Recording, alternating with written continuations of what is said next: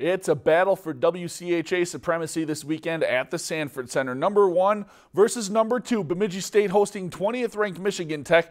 The winner nearly guaranteed to become the conference champion and hoist the McNaughton Cup. And it was Indigenous Peoples Night tonight. You see the ceremonial puck drop. First period, Beavers trailing by a goal now. Mike Soucier just trying to throw the puck at the net, but Angus Redmond mishandles it. It ends up going over the line for a Beaver goal. We're tied at one.